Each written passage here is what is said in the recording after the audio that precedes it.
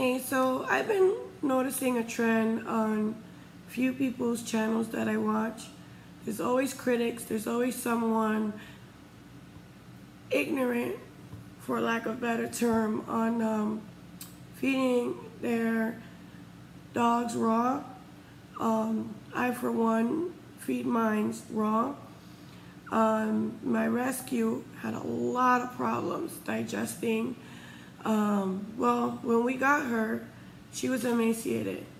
I'll uh, share a picture in, in this video.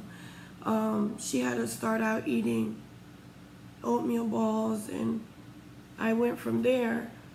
Um, she still had problems on and off when she finally, you know, got used to having something in her stomach again. It's completely heartbreaking. Best dog, one of the best dogs I've ever had. Still have. She's really old now. Um, well, some years went by and I would get different dry food, dog food brands. Some I noticed were better than others. I totally went away from Walmart or big store brands. Um, and um, it was okay, but not where I wanted her to be because I started noticing tumor-like growths um, under her skin and they were growing pretty rapidly. Um, and then she would have these fits of diarrhea, this, this, and that. So I discovered the barf diet from um, someone that I would pet sit their dogs while she was, you know, at work, and um, she gave them raw. And, you know, it was absolutely fascinating. Um, so Animal Watch, dry food almost killed my dog. I mean, so many people don't realize just how unhealthy these foods all are.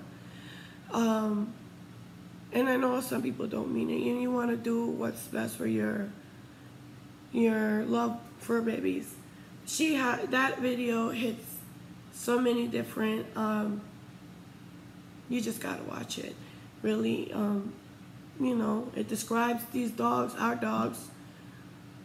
You could change them throughout the 3,000 years or 30,000 years of breeding and changing out, but they're still wolves, you know. Um, and their insides need, you know, certain things that are not in dry or store-bought dog food. So, um, since I've started my Lola on this food, her tumors, some feel like they've gone away, but mostly they haven't progressed. Um, she's still in a lot of pain, uh, so we give her CBD and some natural, you know, things that will benefit her. Um, but, um, I mean, it's just pure torture if you think about what you're doing to your dog. So this whole thing about bones are dangerous and raw, they'll get some kind of, they're not humans. We eat certain raw foods, it'll be bad for us, you know. They need that stuff. It's good for them. Um, also, I watch, where I got my shirt, uh, 101st 508 Airborne. Awesome channel, awesome couple. I'm obsessed with their puppies.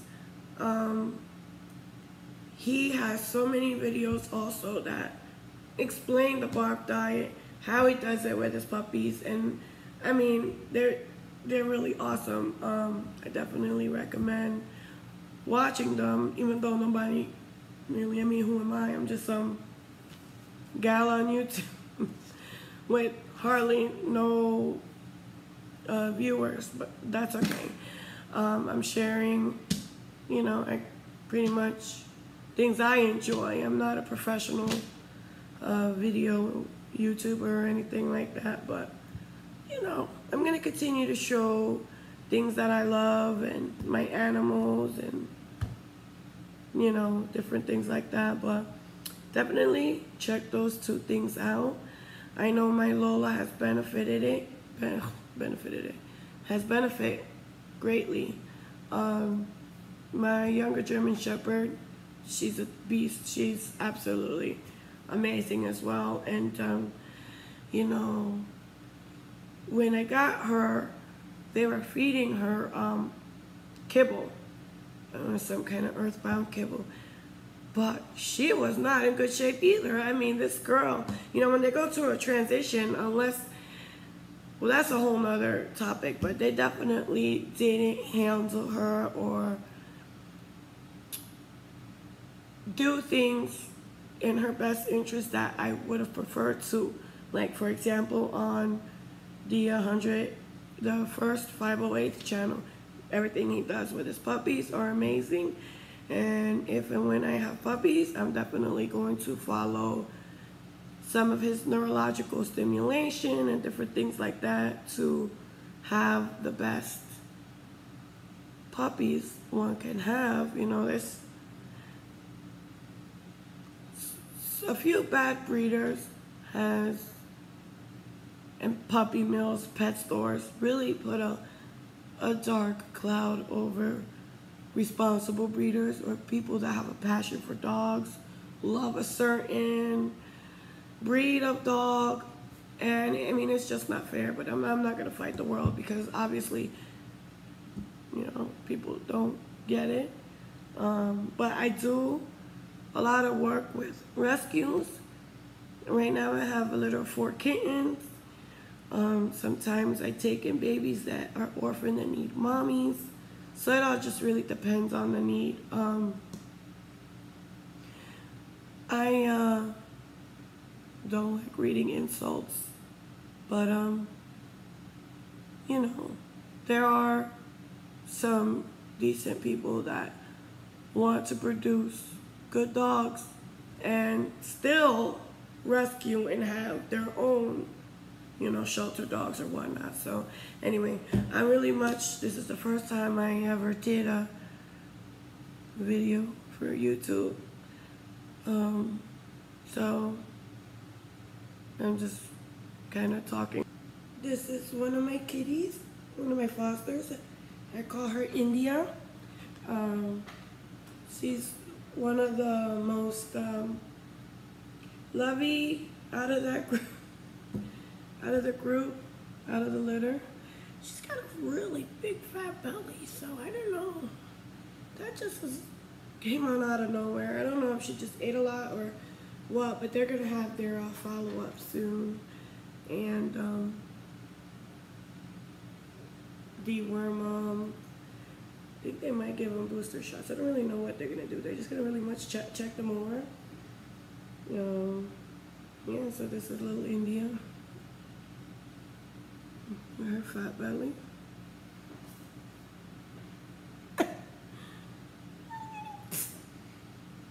and this is Boo. It's a little girl. She's Boo Boo Kitty. Boo Boo Kitty. Mm -hmm. Here is Jade and Tonto. She's the scaredy, scary one. And, um, we are trying to handle her most. Get her kind of used to. They were really feral, I don't know, but. And you're such a lovely boy. She's a scaredy girl. So. So I'm about to feed my dogs. Um, today I only have ground turkey for them, but when I do, I add a few things to it. Now, show you. Okay, so I'm gonna feed my girls um, some ground turkey. I like to stick with um, cool meats or neutral meats like beef. I don't feed them chicken. Um, that's considered a hot meat, but you know, if I need to. Um, but you know, I'll feed them turkey, beef, which is a neutral. Um, sometimes I'll go to the meat market and get a whole rabbit. Um, they just love it. Um, so yeah, I also gonna so show you stuff that I add to it when it's just the ground beef. So it's about 60 ounces. Um, I can tell by grabbing it because I've been doing it for so long. Um, you know, and uh, 60 ounces a day of raw. They'll get treats in between. So that, I'm gonna wash my hands. Give me one second. Okay, I'm back. So today they're gonna have, you know, their ground turkey. I like to add pumpkin. Um, great for their, their digestion. Great for their digestive tracts. Plus, they love it. So, um, I don't have a fork or a spoon, I should say.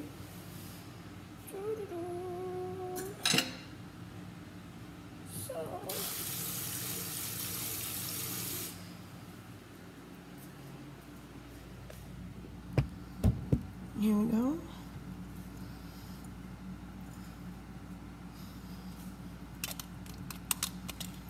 So,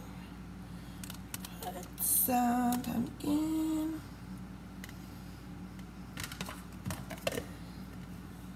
So since I am doing the um, ground turkey, um, I do like this when it's um, not a whole uh, animal that I'm giving. So I'll sprinkle a little of this Add Life on it. Um, and it's good for dogs and cats. It's a good supplement. It has all the good stuff they need. And they sprinkle, sprinkle, sprinkle, sprinkle.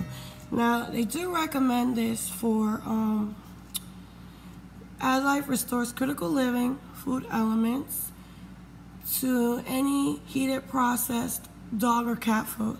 So it's not necessary, necessarily saying raw, but in the holistic um, animal shop that I like to get some of my supplements from them, really recommends it because you cook the food, you take the nutrients out. Sometimes you give them raw, you might not give them the appropriate amount bone to organ ratio. Um, and since I'm only using ground turkey today, I want to add some of that in. Another thing I really love is this immunity. It's um, it's all uh, mushroom, different mushroom complex that's great for dogs and cats and I find for my oldest, and she she loves it, and it's really good for her her tumors, her fatty growths, her her age, um, and all that good stuff. So that's pretty much what's gonna go in there. I'll add some broccoli, some green beans. My older dog absolutely loves that stuff. My puppy, I mean, she'll eat everything and just leave her vegetables, just like one of my kids. uh, and then in a little bit, little bit later, I will give them, um, you know, a beef bone with marrow, which is also super good for them. So they'll get some of their bone. There, they don't eat the whole bone, but you know, they'll definitely have the marrow and all that good stuff. So, yeah.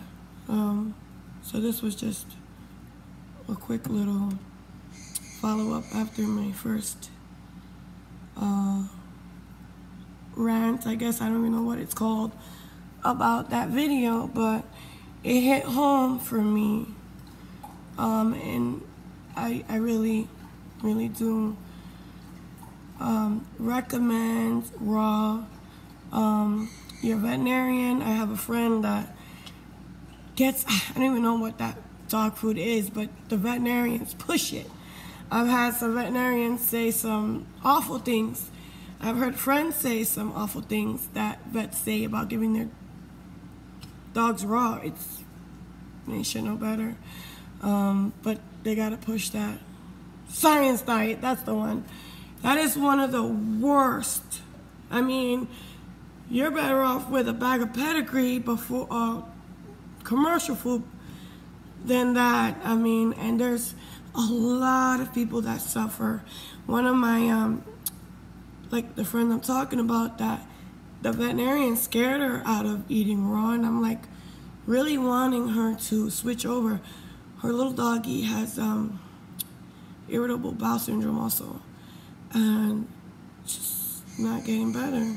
You know, they'll feed them just like with us. They push these medications, and all it is is a lifestyle change with food.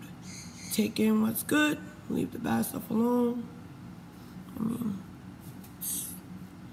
doesn't take a rocket science, but I know that I have a problem with sweets, so anyway, all right. Talk to you guys later.